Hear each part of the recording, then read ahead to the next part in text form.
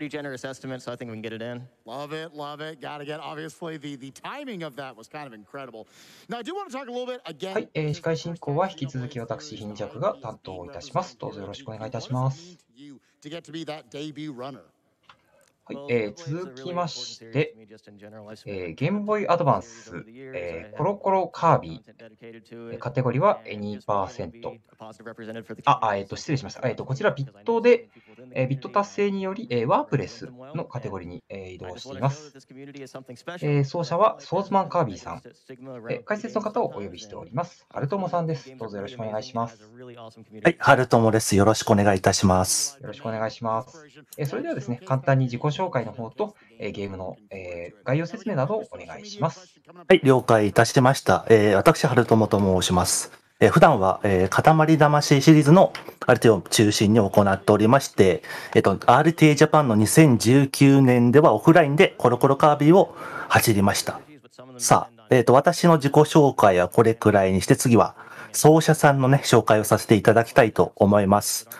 まず奏者さん、すいません、神々で。奏者さんの名前は、ソード、ソーズマン・カービーさんですね。皆さんから、まあ、結構名前が、お名前が長い方なので、みんなは、基本的に SK さんと呼ばれることが多い方で、カービーシリーズを中心に RT を行っている方です。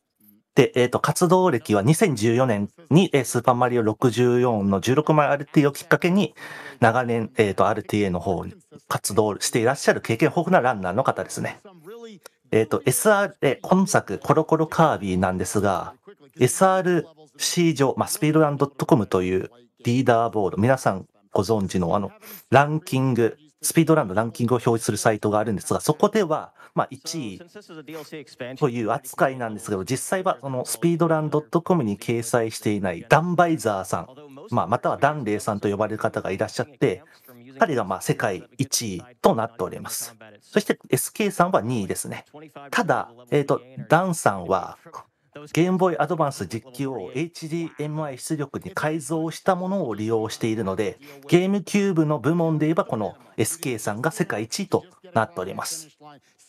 さあ、ここでなぜゲームキューブで今作プレイする必要があるかを説明しますと、えっと、今作、えっと、コロコロカービィは本体に内蔵された傾きセンサーを用意して操作を行います。傾きセンサーが何かというと、え本体の角度、傾きに応じて移動が行えるという機能を実装するために搭載されているセンサーです。このセンサーのため、えっ、とね、まあ、今結構流行っているレトロフリークなどのね、互換機では、このゲーム動作しません。センサーの都合上。なので、この作品をプレイしたい場合は、えゲームボーイカラー、もしくはゲームボーイアドバンス、そして今回披露されるゲームキューブのゲームボーイプレイヤーが必要となります。で、なんですが、ゲームボーイアドバンス SP の場合なんですけど、そのカードリッジ刺す方向が上下逆になっているので、センサー、センサーの上下左右の向きの都合上、左右が逆になってしまうんですよね。なので、非常に操作がしづらくなってしまいます。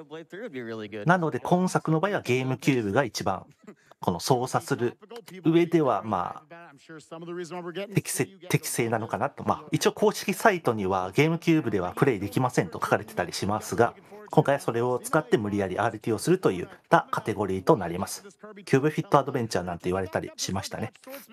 えっ、とね、走者と RTA の説明はこれぐらいですかね。あ、でもカテゴリーの説明をしましょうか。今回、まあ、any% だったものがビッドの影響で、え warpless というカテゴリーになりました。ワープレスは、まあ、その名の通りワープをしないカテゴリーとなってまして、え2%であると3の1、そして6の1のワープを活用して一気に8の1までワープをするという、そういった技を大幅ショートカットを行いますが、今回はそれを行わず、約40分間ゲームキューブをね、振り回しながら挑んでいきます。まあ、えっ、と、基本的な説明はこれぐらいですかね。他にじゃあコロコロカービィのクイズちょっと出しましょうか。まだ時間ありそうなので。さあ、今作コロコロカービィは2000年に発売された作品ですが、まあ、同じ年、同じ年にね、あの、カービィ64という作品も発売されてます。さあ、どちらが発売先でしょうかさあ、わかるかなど発売が先なのはどっちどっちかな ?64 かなでもゲームボーイカラーのゲームなので、ハードとしては古いような気がしますけどね。さあ、コロコロかな？どっちかな？正解は、星のカービィ64の方が実は先です。なんと星のカービィ64は3月に発売されました。そして今作コロコロカービィは、えっと、確か、あ、ちょっとデータを見ますけど、あれ、どこに書いたっけな？メモ帳を見ます。メモ帳によると、えっと、8月、夏に発売されましたね。あ、今年で22周年迎えるそうです。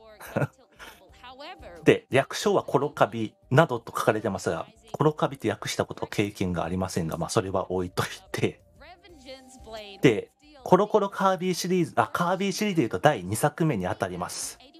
64のカービィからは結構お目目がクリクリしたカービィちゃんに変わってたりするので、結構今作のカービィちゃんシンプル寄りの初期寄りのカービィちゃんですね。個人的には初期寄りのシンプルカービィちゃんも好きなのでとてもいいと思っております。さあ、あとはそうですね。さあ、じゃあ今回はゲームキューブでプレイするということなんですが、まあ、コントローラーは、あっと始まりましたねということで、今回は、えっ、とね、ゲームキューブとスーパーファミコンのコントローラーを使用してますね。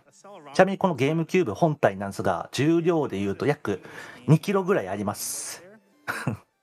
2キロぐらいあるものを、まあ、EST45 分なので、45分間振り回すといった形ですね。今、操作方法の説明をしておりますねと、おそらく。ちなみに、この本体の傾きに応じてタイトル画面の風向きが確か変わったような気がしますが、どうだったかな？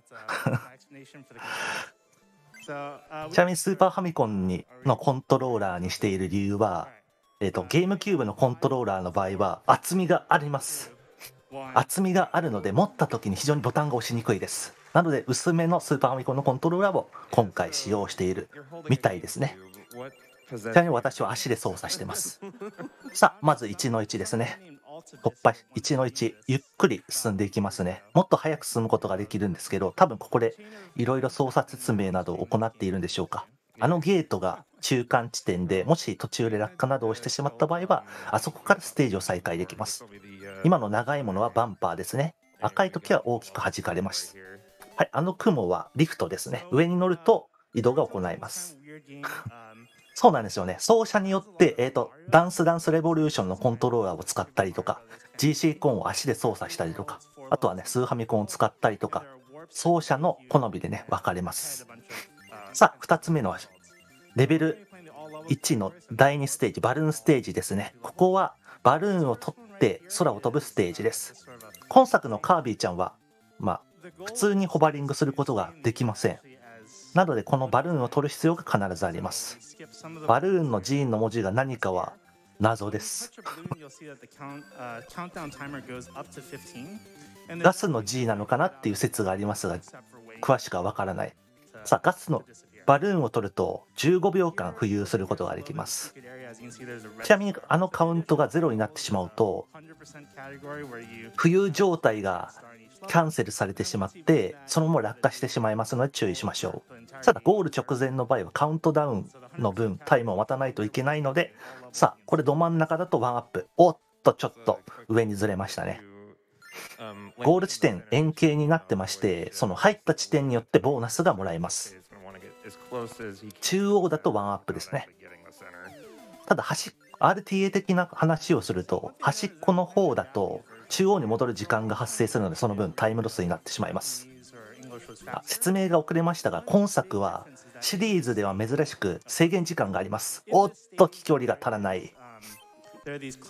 このステージは、えーとね、動くリフトが大量に配置されていて、タイミングを逃すとバックアップがとても難しくなっています。なので、勢いで一気に攻略する必要があります。今作珍しくね、カービィちゃん。珍しくはないか。珍しくはないけど、カービィちゃんにボイスもね、ついてます。携帯機としてはかなり珍しいかと思います。容量の都合上かなり圧縮されたね声となっておりますぜひねもし落下したらみんなでコメントでムワーって言いましょうかじゃあうわーっていうのでカービィちゃんが あとワンアップした時はやったーとカービィちゃんが言うのでぜひねみんなも一緒にやったと言いましょうか。さあここスイッチあります4つ押すとロボットが端っこに避けてくれますね。さあ右の砲台に鍵が入っているの鍵を取って先へ進んでいきます。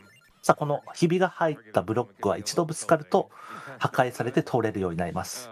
ちなみに床の時計マークは制限時間を増やすアイテムですね。おっとここでブロックの上に乗るという超絶テク。さすがですね。あれは実は細い道の上を進むっていう進んでいくことによって砲台を使わずに突破するというすごいテクニックを今使用しました。お見事ですね。さあボス戦です。ちなみにこのボスはクラッコ。ではなくてメガイターというね。メガイターという名前のボスでおっと今自殺をしましたが理由を説明しますと、えっと、本作チェックポイントやクリアをすると制限時間がね、えっと、加算される形式となっております。なので一旦落下することによってタイマーをねリセットすることができます。あムワーありがとうございます。ムワー助かる。そして一度攻撃を当てると約9秒間無敵状態になって移動を行っていきます。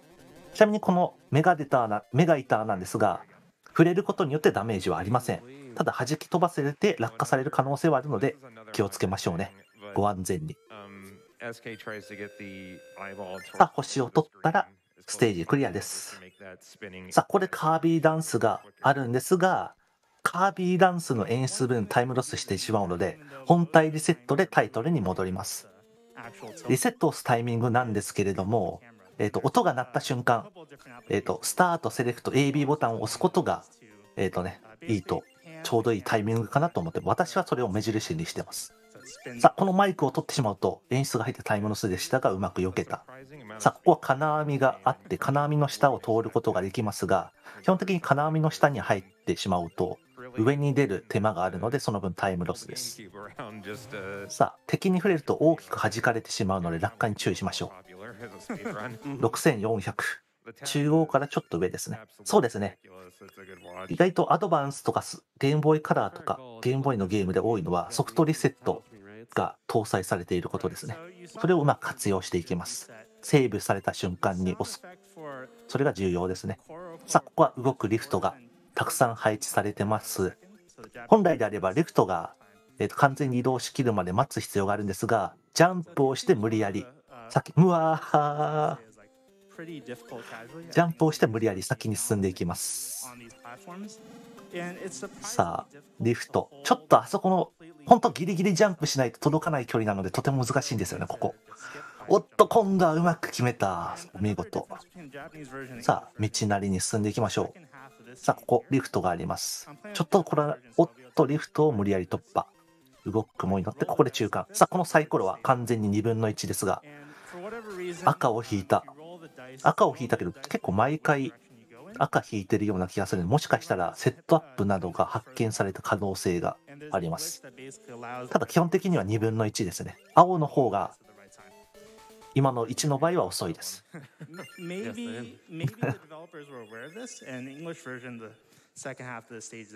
ということでレベル2の、えー、と第1ステージ第2ステージかな。第2ステージクリア。次第3ステージ。さあここも雲のステージですね先ほど説明が遅れましたが第3ステージのこの曲はあのカービィシリーズでもおなじみのあの雲の王国の時の曲ですね。初代やあのスパデラでおなじみのねあの時の曲が流れます。この曲好き。あこの雲なんです。ああのリールがついたゴンドラなんですが傾けるとその方向に移動することができます。その後 A ボタンを押すことによって雲の上でジャンプができます。さあここなんですが A ボタンを非常に連打することが必要とされるのでここでスーパーファミコンのコントローラーが活躍するんですよねバブリークラウズ、確かそんな名前だったと思います。ありがとうございます。ここ足で操作する場合は足ってもともとボタンを連打する構造になってないのでとてもね困難を極めますなのであそこをうまく進むためにはやっぱりコントローラーの方がプレイしやすいですね。ただゲームキューブの場合は一応 GBA ケーブルとコントローラー2つ出しで両方操作ができたと思うのでそれを使うのも手です。さあここ傾きに応じて移動する壁うまく突破しましたね。小刻みにコントローラーあコントローラーと言いましたゲームキューブを振ることがコツです。さあここまでちょっと説明がなかったんですがゲームキューブ前後逆になっていることについてはまあこのボスを倒したら説明しましょうか。さあ、まずは制限時間をリセットするために一旦落下します。さあ、2回目のメガイターですね。メガ2回目のメガイターは、えっと、一度攻撃を当てると、ジャンプでのしかかり攻撃をしてきます。そして、のしかかり攻撃で地面に落下した瞬間、本体でジャンプを決めると、次の攻撃をキャンセルすることができるので、即、えっと、カービィちゃんの攻撃ターンにね、持っていくことができるので、おっと、地上でジャンプをしてしまうと、メガイターもジャンプしてしまうので、うまく攻撃を当てることができません。なので、砲台をうまく利用する必要があったんですね。さあ、うまく倒しました。お見事です。さあ、これでレベル2はクリアですね。さあ、ここでリセットをしてタイトルに戻ります。さあ、ここでゲームキューブ本体を、えっ、ー、とね、上下、前後逆にしているよう説明すると、えっと、本、最初、本体に傾きセンサーがあるという話をしたと思うんですけど、その本体のセンサーの向きの都合上、前後を逆にしないと、うまく操作が行えないからというのが大きな理由です。えっと、ここはね、水面が、おっと、ここトラウマ。この道が狭いところ、多分、プレイヤーの方でもね、トラウマになってる場所だと思いますが、ゆっくり進みましたね。ゆっくり進んでいきました。この水面は水中にぶつかった瞬間 A ボタンを押すと水中ジャンプができます。なのでそのジャンプをうまく利用していきましょう。あ、本体？あ、カセットですね。カセットの向きをこう調整するために本体を前後逆にしてます。ちょうどゲームキューブの向きを前後逆にすることによってあのゲームボーイカラーと同じカセットの向きになるので ということですね。間違えちゃったかもしれないけど。ごめんなさい、ややこしくて。さあ、3の2ですね。3の2は、えっ、ー、と、緑の足場が出るんですが、この緑の足場は、踏むと一定時間経つとね、完全に破壊されてしまうので、急いで先に突破する必要があります。急いでいきましょう。そうですね。ゲームキューブ、えー、と正面、コントローラー側をお腹側に向けて持ってしまうと、あのゲームボーイアドバンス SP と同じ現象が起きて、左右が逆になってしまうんですよね。ちなみに今作は 60fps ですね。おそらく D 端しかコンポーネントで映像を入力しているので、とても映像が綺麗。さあ、ここはイカダが登場しまして、イカダは A ボタンを押すことによってダッシュが行います。さあ、ここ、途中にイカちゃんがいるので、イカちゃんのノックバックをうまく利用して滝登りをしていきます。うまく成功しましたね。お見事。ちなみにダッシュ中は敵を倒すことができます。ゲームボーイミクロはそもそもゲームボーイとゲームボーイカラーのソフトに対応してないので、プレイができません。ゲームボーイミクロはアドバンスのカードリッジのみだったと思います、確か。他にも最近ゲームボーイカラーアドバンスの互換機がいろいろ登場してますけど基本的にはこのゲームは動作しませんあここはロボットの移動に合わせて移動が起こあの足場が登場するのでゆっくりね、進んでいきましょう。ロボットにぶつかると結構弾かれてしまうので、注意しましょうね。そうですね、アドバンス限定です。最近の、えーと、互換機っていうのは、その仕組み上、このコロコロカービィっていうのがプレイできないので注意が必要ですね。そうですね、制御がうまいです。SK さん結構見た見た目通りですけどがっつりした体格の方なのでね、とてもコロコロカービィに向いてると思います。私は結構手が小さめなので、うまくコントローラー、あ、コンゲームキューブを持てないんですね。失礼しました。ゲームキューブをコントローラーと呼んでしまう。なので、アドバンス階層が一番、ついついコントローラーと呼んでしまいますが、まあ、間違いではないのかな。あ、ポヨ言いました。ポヨというのは、まあ、カービィちゃんのアニメでよく言うセリフなんですけれども、海外でもよくミームにされています。なので、カービィ配信を見ると、ポヨという言葉をよく見ますね。ポヨは、まあ、世界共通語です。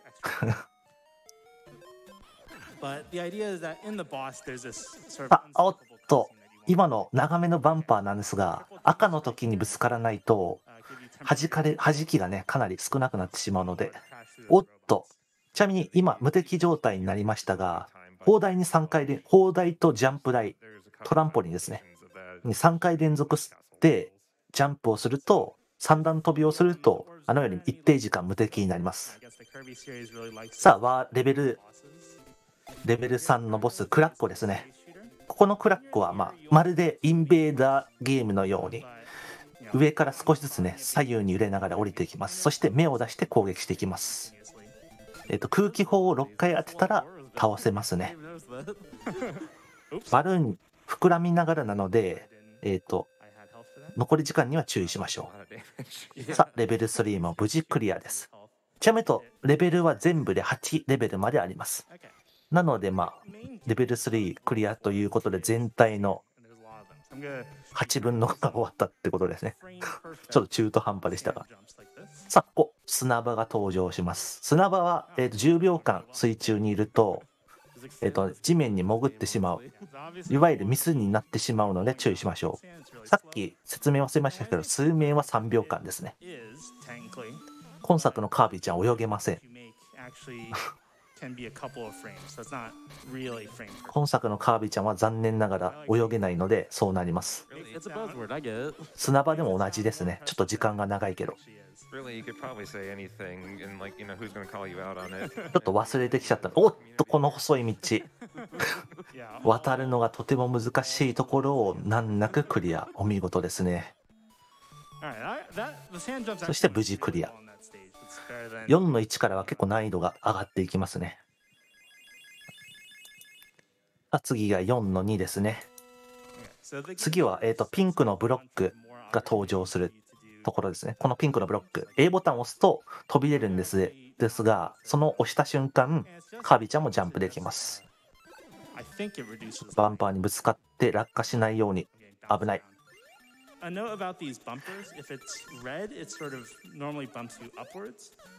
あのブロックなんですが通常のジャンプでは乗り越えられないです。ただあのブロックを利用したジャンプであれば飛び越えることができます。もしくは砲台ですね。おっと無理やり。雲を使わずジャンプで突破しました。さすがですね。So one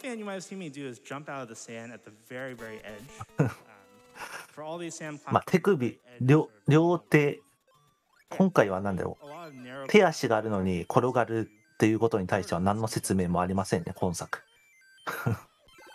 転がる理由は謎です。さあ、ここ、3の2、ん？じゃあ4の2なんですが、あ、4の3か。4の3なんですが、とてもね、道が狭いのに落下に注意ですね。さあ、ここ、本来であれば砲台をうまく利用して突破するところを連続ジャンプでうまく突破していった.さすがです。お見事。あそこ、とても難しいですね。連続ジャンプでうまく突破していきました。すごい。結構手首が痛くなったりしますが。さあ、4の4です。さあ.ここでは壁際にトゲが登場します。壁際のトゲに当たると体力が1ダメージ。即死ではありませんが、ダメージを受けてしまうので、注意して進みましょう。ちなみにトゲに当たると大きくノックバックします。ただ、トゲをうまく利用することによって、えっと移動を一気に行うといったテクニックもありますね。一一定時間無敵時間があるので、その間、トゲにぶつかり続けて進むという強行突破方法もまたあります。今行いましたね。あそこはロボットが結構邪魔なのでトゲにぶつかって無理やり進みましたね。さあ雲に乗ってさあメガイター戦ですね。さあここのメガイターなんですが移動がとてつもなく速いです。グレーの。一度ぶつかった後の速度に注目ですね。あ、あと多分時間が結構あるので、一度落下をしてタイムをリセットすると思います。Uh, to damage uh, うわーさあ、タイマーをリセットしたら、目が開いてる間にダメージを与えましょう。さあ、この敵なんですが、なんと左右がアンチになっておりまして、端っこにいるとダメージを与えることができません。おっと、今、トゲを使ったジャンプで攻撃を当てようとしましたが、失敗がし失敗してしまいましたね。さあ、2発目の攻撃を与えた。さあ、3発目、トゲをうまく利用して、ジャンプをしてダメージ与えられるか。成功するか。おっと、お見事です。成功しました。トゲをうまく利用することによって、発射台を利用せずとも敵にダメージを与えることができます。さすが。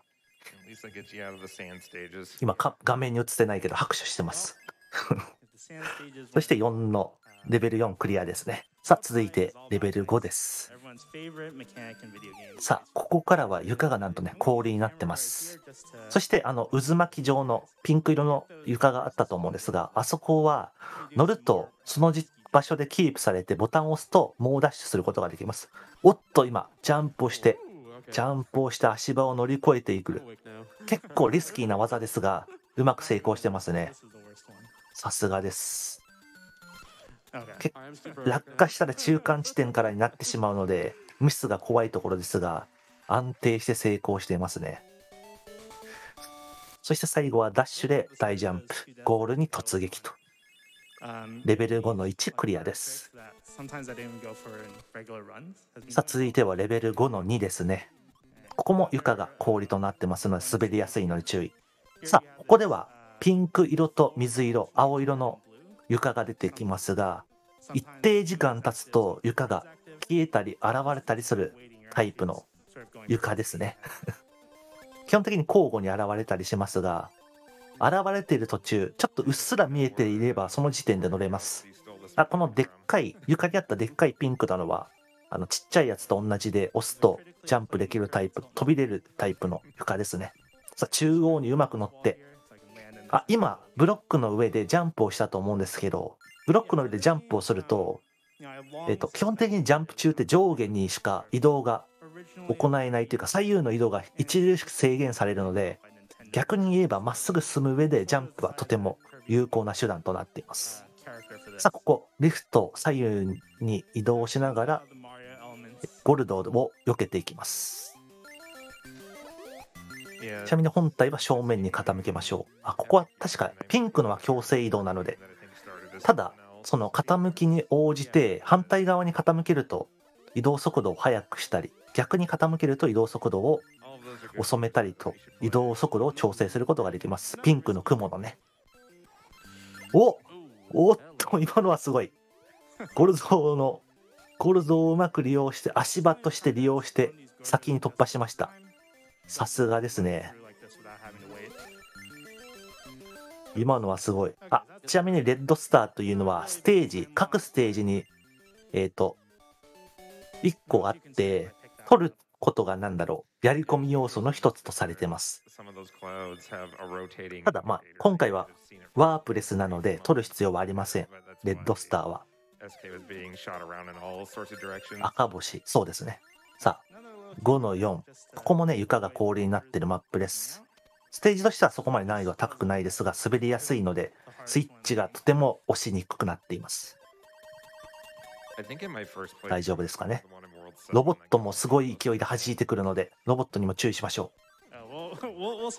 オブジェクトが、えー、と画面に、例えばバンパーとか敵とかが合計確か4つ以上あると、3つか4つ以上あると結構ジャンプ中処理落ちするので、なるべくジャンプは使いたくないところですが。さあ、無事、えーと、レベル5の4クリアです。さあ、ここのボスはメガデターですね。毎度おなじみ。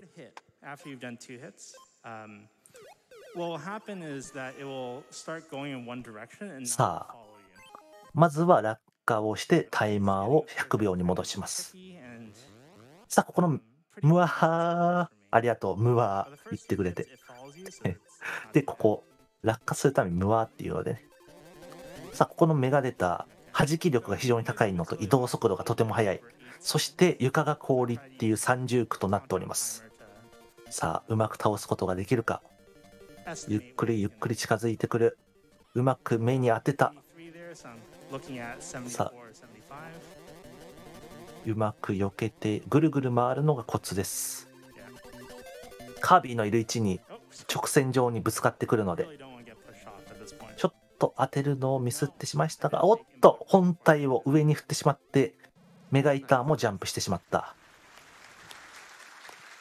無事3回攻撃を当ててメガデメガイター撃破です。本当に痛そう。そして、えー、とレベル5無事クリアです、さあこれで全体のね8分の5が。5分の8か。8 分の5か。8分の5クリアしましたね。さあ次6の1です。えっ、と実はここにワープがあって8の1までワープすることができます。ただただ今回はワープレスなのでそのワープは使用しません。今えっ、と boss in the Kirby series. ポピーくんでしたっけ？ああポピーくんはあれか別のやつかキャッピーくんがいたと思うんですけどキャッピーくんが登場穴から挨拶してる間はえっ、と砲台に入ることができません.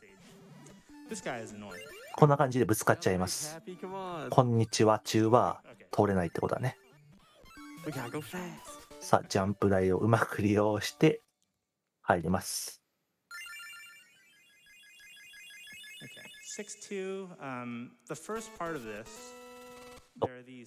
触れてなかったけどあのセーブ中の時の顔がかわい。い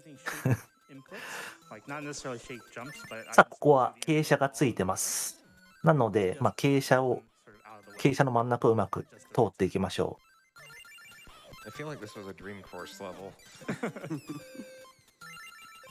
さあ先に進んでいきましょう。UFO に連れ去られる危険性があるので UFO はきっちり避けていきましょうね。Or two. グワングワンしておりますがちょっとここピタゴラスイッチ感があって個人的な好きなステージですね。A crumb 92. おっとやった！ー。レベルアップです。中央に止まるとやったーと言ってレベルがじゃあレベルじゃない。残機が1アップします。お見事 トニック感あるのは床床の模様かな。おなまり失礼します。6の2はえーとシューティングステージですね。バルーンが登場するのでバルーンを倒しましょう。バルーンには空気砲を3回当てることによって倒すことができます。あおっとい一つバルーンが飛んでいっちゃいましたがまあ全然飛距離的には間に合うので大丈夫です砲台なんですが1回ごとに顔が変わるんですよね1回当てるとちょっと怒った声2回当てるとびっくりした声顔になりますポグチャンプな顔になるね We got time for a couple more? Oh yeah, yeah. Go ahead. Okay, wonderful. さあもうこれ以上当てる必要ないかな制限時間で.右上の数字がたっぷりあるので $50 多分ゴールまで間に合うという判断なんでしょう.無事クリアですね Uh, we also have here. Uh, あちょ so sorry if I butchered this. we also have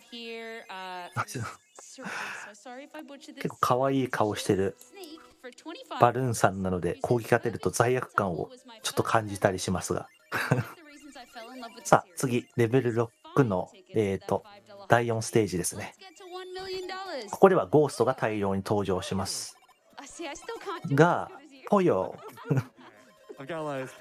今作は えっとこのゴーストって今作以外に登場するんですかね？オリキャラなのかなと勝手に思ってるんですがあこの青いパネルなんですがい定時間速度で、あ一定の周期で移動速度が変わるパネルです。タイミングを見計らって進んでいきましょう。さあ、これ、ロケット弾のアジトにあるようなパネルですね。あそこは上に乗ってしまうと強制移動で元の位置に戻されてしまうので注意していきましょう。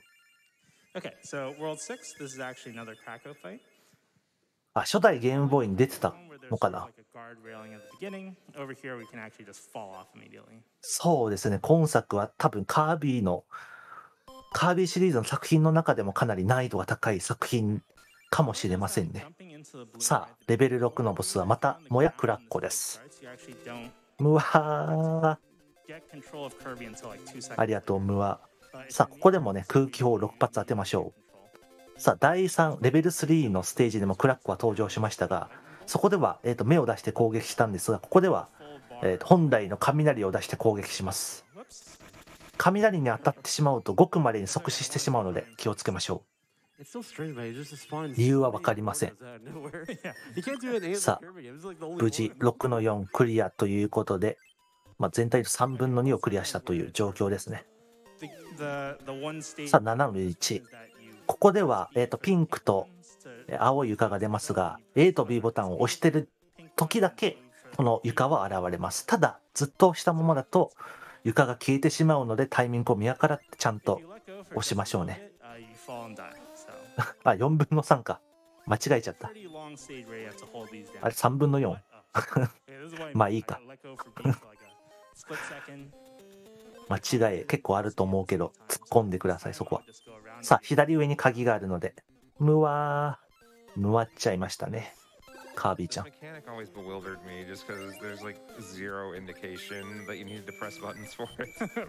さあ、先に進んでいきま、おっ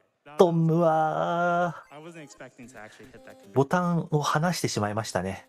意外とボタンを押しながら移動って難しかったりするので、ゲームキューブという大きなコントローラーの都合上ですね。コントローラーって呼びます。うわー I, I shouldn't have uh, played around. あ1.4キロと言いますけど、実際はあのケーブルや、えっと、あとはゲームボーイプレイヤーなども.セットでくっついてるので2キロぐらいあります、実際は。1.4キロはおそらく本体のみの重量ですね.さあ、今度は、おっと、あ、パネルが消えそう。おっと、やったー やった.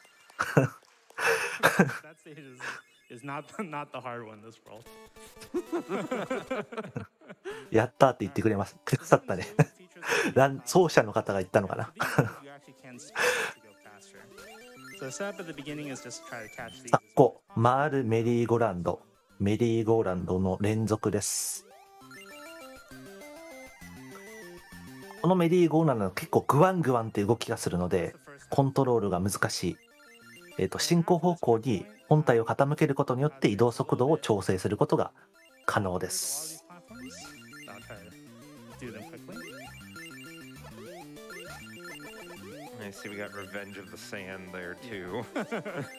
さあうまく乗りましたね。グワングワンとしてます。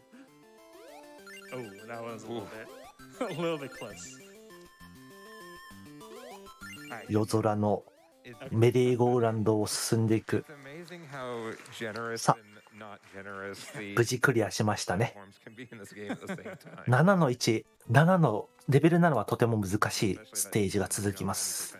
あ、7の2だった、ごめん。7の3はまあ、えっ、と、移動のリフトがね、大量に設置されてまして、えっ、と、ボタンを押してる間だけ進みます。ピンクのリフトは、えっ、と、あれ、まだリフトが出てこないね。出.てくるかな？なんか名前呼ばれたような気がするけど、気のせいかな？気のせいかな？まあいいや。先に進んでいきましょう。あこのブロックボタンを押してる間に進んでいきましょう。青青は B ボタン。ピンクは A ボタンを押してる間だけリフトを進めることができます。あここバンパーがあるんでバンパーにぶつからん。あっと手前に転がしてしまった。あの動くリフトなんですけど、32 and a half, but むわ?むわっちゃった。あの動くリフト.手前に少し転がさないと、基本的にあの、同じ位置にとどまってしまうので、前にちょっとずつ転がす必要があります。さあ、A ボタンを小刻みに押して位置を調整してます。そうですね、リフトに乗ってるときは微妙に傾けてます。そうしないと同じ位置にとどまってしまうので、リクトだけ動いて落下してしまうからですね。お見事です。やっぱりレベル7はとても難しいステージが続きますね。さあ次、7の4。7の4もとても難しい。まあ、調整は調整ってこと、まあ、触,れ触れてよかったらまあいいか。さあ,、最近ね暑い日が続いてますからね。ちょっと清涼感を出していくのも大切。さっこロボットがいるので 少しずつね進んでいきましょう。大丈夫。みんな凍ってますね。By the end of this run. Uh, Geek Prune with $25 あじゃあここで "Julia Kirby game is its リフトの移動があるので.その間に何かちょっと話せることがあれば話したいですが、Uh, あ100今作コロコロカービィなんですけど.えっ、と、マボ2の発売が実は予定されてたらしいですね。あとこれちょっと情報源確認し忘れたんですが、もともとはカービィが主人公でないゲームだったそうです。ただそれをキャラクターをカービィに変えたものだそうですね。そういった話を見ました。本作の概要も説明しましょう。あ概要っていうかまあ説明みたいのがあったのでそれも正解すると主人公のカービィを操作しデデデ大王によって隠されてしまったププランドの星を取り戻すことが目的世界初の動きカード率センサーを搭載していて本体とカービィの動きが連動している。みたいな感じですね。あリフトまだ続いてます。ちなみに、えー、とコロコロカービィの公式サイト今現存しておりまして公式サイトの注意書きにはしっかりとゲームボーイプレイヤーでは操作できませんと記載されております。Sure. $25 here from Sa, who says, ただ "Modded step 今作は、まあ、この RT の場合は、まあ、それを無理やり利用しておきます。なのでね、まあ、基本的には真似しないでください。あ、レイドありがとうございます。ポケさん。さあ、ここ。無敵時間をうまく利用してロボットを強制、強行突破。本来は難しいスイッチを押す必要があるんですが、3段ジャンプからの無敵時間で強制突破です。さすが、強行突破です。あれもとても難しいテクニックですね。さすが。さあ最後のメガイター戦です。ワールド7。これが最後ですね。さあ、まず残り時間があるので、一旦、あおっと、ここは普通に戦いますね。残り制限時間を減らされ、あ、これ、ここ、上下がね、アンチになってますので、下にとどまりましょう。これだけで攻撃を避けられます。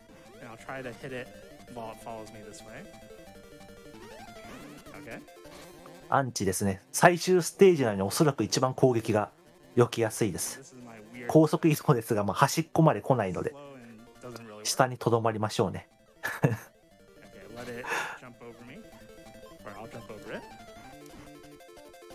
Alright, good. Nice. Nice, nice. お見事、3回無事当てました。レベル7クリアです。さあ、早いようで、えっ、と、次がレベル8ということで、最終ワールドとなりますね。いや時間で言うと36分です。おそらく EST 内には収まるかなといった感じですね。40分前後ぐらい For、sure, for sure. 40分前半ぐらいのタイムが出ると思いますね。目が痛い。目が痛いので目が痛い。覚えてくださいね。さあ、レベル8の1。But it's ここは大量にバンパーが設置されています。急いで先に進みましょう。この移動の周期もあるのでね。どうしてもぶつかりそうな時はジャンプを利用するのがいいかもしれませんが、ジャンプ2はね、処理落ちが発生しやすいので、なるべく控えたいところ。さあ、うまく突破しています。最後、さあ、最後のコーナー。おっと、待たずにそのまま突破。そしてあの最後の赤いバンパーがとてもいやらしい位置に置かれています。ゴール手前だと思って安心すると、あの赤バンパーにぶつかって落下しがちですね。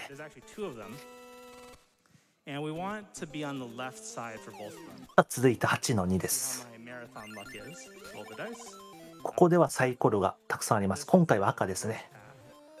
赤と青かはもうその時の運なので、ただ基本的に青の方がここは早かったかな。青を赤と引くのが早かったと思います。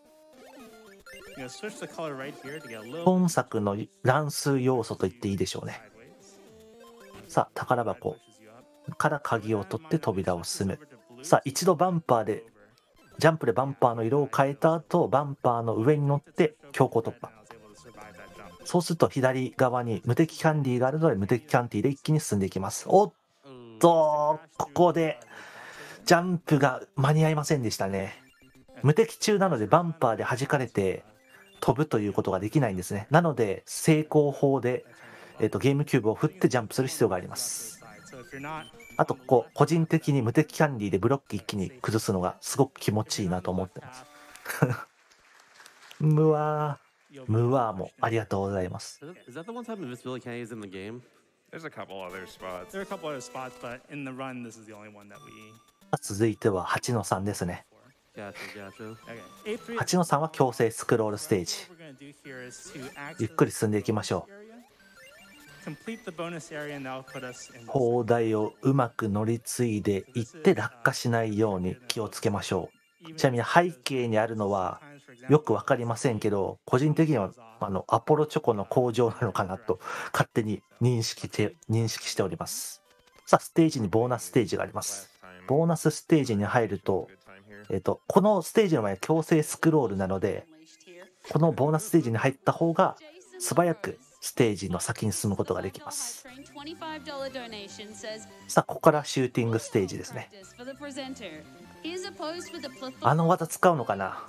さあ、ここのステージの終盤なんですが、端っこにいるゴルドをうまく利用して、えっ、と、大ジャンプをしてゴールに入るという技があります。ぽよさあ、今回はその技、使用するかな？おスキップするって言ってますね。これはします。さあ、端っこのゴルドにぶつかって、さあ、大ジャンプ。さあ、ゴール入るか入るか？入るか？入るか？大きい大きい。入ったお見事です。これこの技とても難しいんですよね。お見事です。残り時間の秒数を見て。ホールインワンしましたね。さっこ三段ジャンプをうまく活用してロボットを突破します。ちなみにここは最,、えー、と最終ステージですね。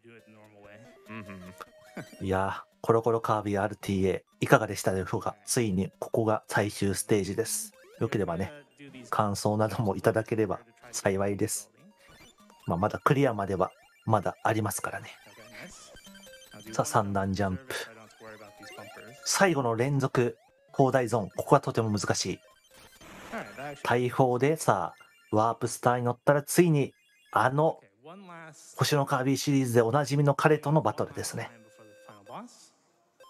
さあ、何大王なんだドンペン君かなの前にタイマーを、時間をリセットしたいので、一旦、ムワということでね、デデデ大王の登場です。あの曲が流れるよ。さあ、端っこに待機します。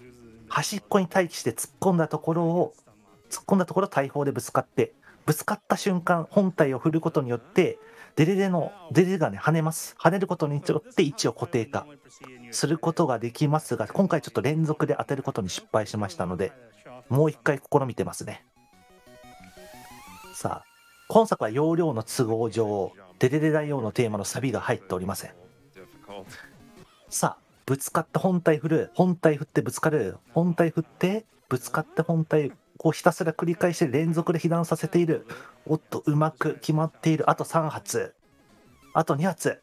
おっと、これは間に合わないかな。あと1発です。いけるか？おっと、見事です。ただ、ここで GG ではありません。さあ、ここで衝撃シーン。コロコロカービィ、はい、普通に歩けるんかいということで、実はカービィ、最初から歩けました。で、このテキストが消えた瞬間、タイマーストップです。ということでね、お疲れ様でした。コロコロカービィ、ワープレス。これにて感想です。時です。41, uh, GG です。ということで、ありがとうございました。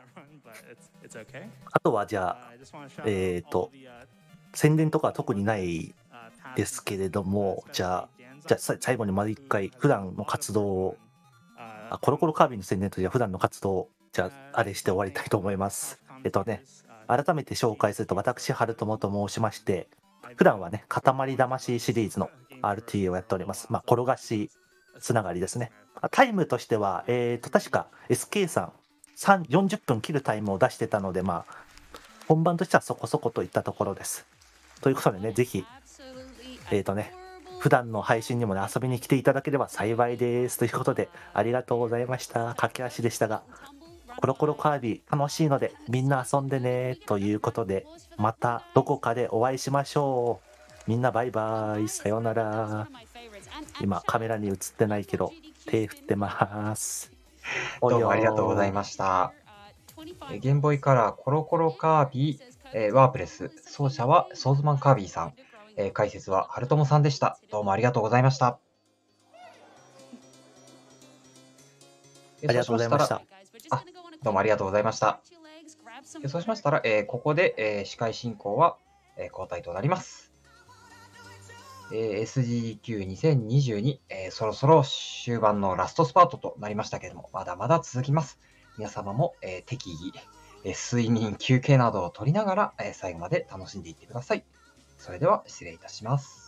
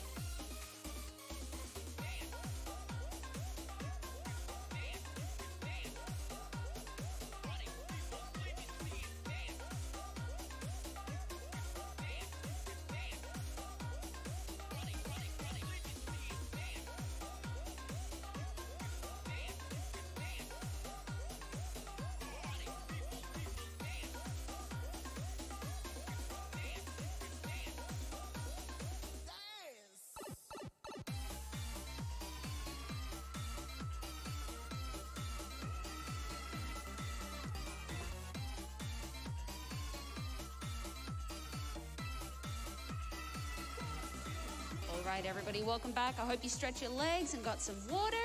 We're just currently getting set up for the next run. We're going to be on with Xenoblade Chronicles 2 Torna. Uh, that is going to be run by um, Ina, I believe is the pronunciation. We spoke about it earlier, but I'm uh, I'm, I'm, I'm one with a terrible memory. Uh, we currently have uh, uh, only a little bit left to go for that. In the meantime, I wanted to read a couple of donations. Uh, we still have more Poyoing coming in. Prometheus with $25 says, shout outs for the spinning Gabe Cube with the Poyoing Kirby inside. Thank you very much.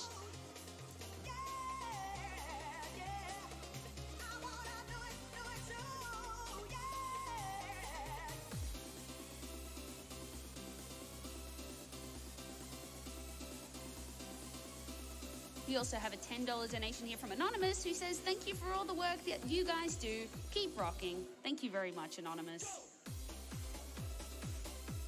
I just got the thumbs up. We're ready to send you guys over for the interview uh, with Jay Hobbs and Brian Otto, who will soon to be running Solar Ash. So enjoy and take it away.